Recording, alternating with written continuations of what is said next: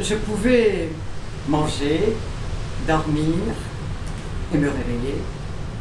Je pouvais grincer des dents, tirer la langue et ricaner. Je pouvais, avec la vivacité, la célérité d'un arboricole, de branche en branche m'élever, grimper. Je pouvais m'allonger sur la terre comme un lombric, ramper sur la terre et la creuser avec mes ongles, avec mes mains, comme un lombric, en un clin d'œil, creuser la terre et disparaître.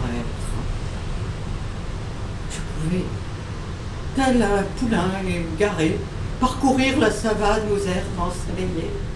Mais, mais, je pouvais bêler. Et bouquetin facétieux, danser sur place, exécuter sur place des bons prodigieux. Je pouvais jouer au chasseur, à l'Indien, avec le sang, avec les arbres, avec personne, avec moi-même, converser, jouer.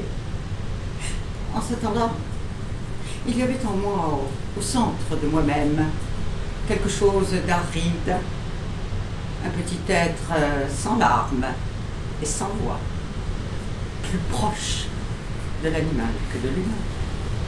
Je n'ai pas eu, penché sur mon berceau, cet ange, bel ange, il sourit à l'enfant. La vermine grouillait, les fièvres dévoraient, et les mouches, les mouches. Je n'ai rien eu, rien de rien. Mais j'avais, pour cogner, et cogner, et un tambour, une peau, la peau d'un Homo sapiens. Je n'ai pas eu penché sur mon berceau et versant mon sommeil, la fée des songes heureux. La vermine grouillait, les chèvres dévoraient, et jusque dans mes rêves, les hommes avaient la rage. Ivrognes furieux, les hommes s'entretuaient. Je n'ai rien eu, rien de rien qui soit, comme une enfance. Mais j'avais cadeau d'un gentil roi d'Afrique, au bout de mes deux bras, pour cogner, cogner, cogner, cogner.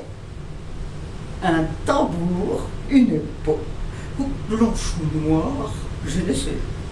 Mais c'était pour cogner et cogner la peau d'un homo sapiens. Quand tombait le rideau épais de la nuit, la nuit d'Afrique, Madame Toubab avait la panade au cœur, ni l'infirmier Major qui, dans la cour du dispensaire, jouait du banjo, ni le chant du courlido, ni le whisky dont sa main giflait le verre ne parvenait à la distraire quand tombait le rideau épais de la nuit, la nuit d'Afrique. Quelque part, dans la brousse obscure, la charogne palpitait.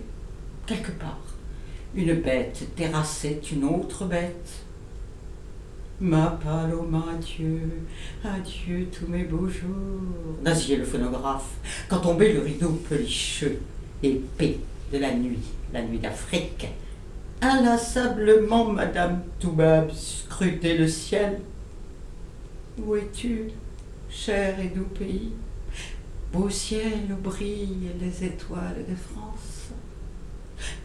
Quand tombait le rideau épais de la nuit, la nuit d'Afrique, à la flamme des lampes tempête, et les papillons brûlaient leurs ailes,